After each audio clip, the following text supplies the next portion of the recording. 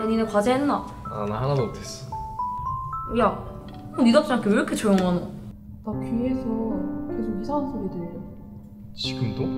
어, 계속 바람 소리 같은 게 들리는데 완전 거친 바람 소리. 왜 이러지? 어?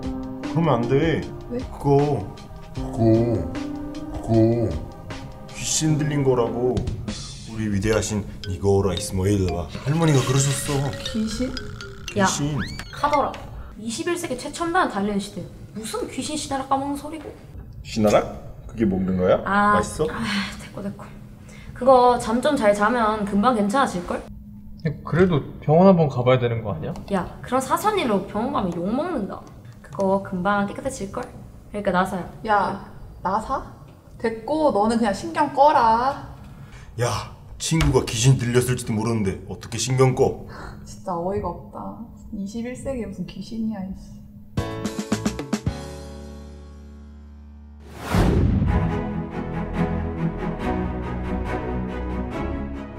이명이란 외부에서의 소리 자극이 없는데도 불구하고 귀 안이나 머릿속에서 소리가 들린다고 느끼는 병인데요. 밖이 아니라 자신의 몸 안에서 들리니 엄청난 불편감을 느낄 수밖에 없습니다. 이명은 매우 흔한 질환 중의 하나로 전체 인구의 30% 정도가 이명으로 불편감을 겪고 있으며 5% 정도는 병원을 찾을 정도로 심한 이명을 호소한다고 합니다. 그리고 1% 정도는 이명이 너무 심해서 정상적인 생활을 할 수 없을 정도라고 합니다. 이명의 소리는 매우 다양한데요. 벌레 우는 소리, 바람 소리, 기계 소리, 휘파람 소리, 맥박 소리 등 여러 가지의 소리로 나타나며 다양한 높낮이를 가진 음들로 섞여서 들리는 경우가 생깁니다.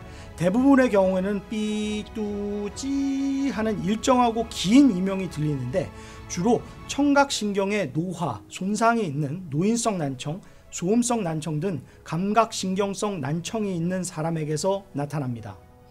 이명은 많은 부분 청력 감소와 연관성이 있는데요.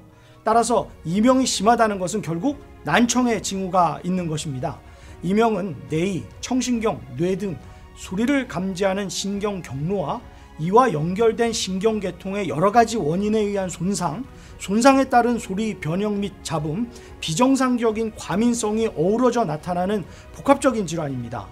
청력이 너무 떨어져 있다면 보청기를 사용하시고 또 예민성이 증가되어 있는 경우에는 약물요법을 쓰기도 합니다.